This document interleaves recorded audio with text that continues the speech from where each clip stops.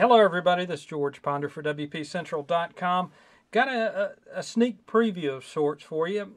It's uh, the Windows Phone 8 application, Memorylage. Now, Memorylage, it's uh, alternative to your native Pictures Hub.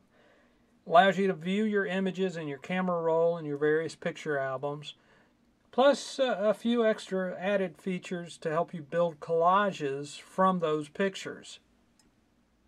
Now, main screens, you've got layout on your camera roll albums. You can also view things by date. You've got a photo booth feature that allows you to take a series of pictures and create that collage from those pictures. Then you've got your settings page where you can tap into your lock screen settings to send images that way. View the About screen, contact the developer, and then rate the app altogether. Go ahead and jump into the camera roll.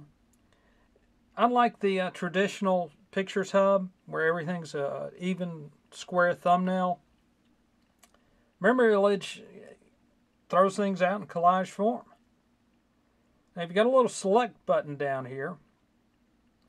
Go ahead and tap it. Use that to select different images that you want to build a collage off of.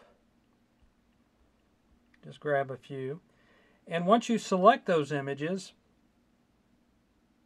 you can build a collage for a lock screen image. Got a little shuffle button so you can rearrange the different sizes. Then you also have a button to build a collage that you can save to your Pictures Hub. Again, different various sizes and layouts. And once you find one that you like, just hit save. You can add a caption above and below.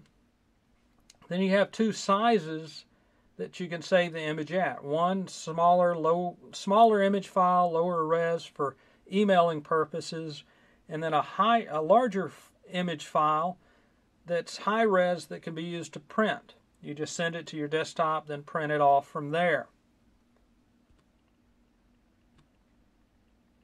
All in all, it's a nice alternative to the Pictures Hub. Again, it's Memorylage. Hadn't gone live over at the Windows Phone Store just yet. Um, expecting it live any day. When it does go live, there will be a trial version. It'll be an ad-supported trial version. Full version will run you $1.99, and once we have links to the Windows Phone Store for Memorylage, we'll update the post.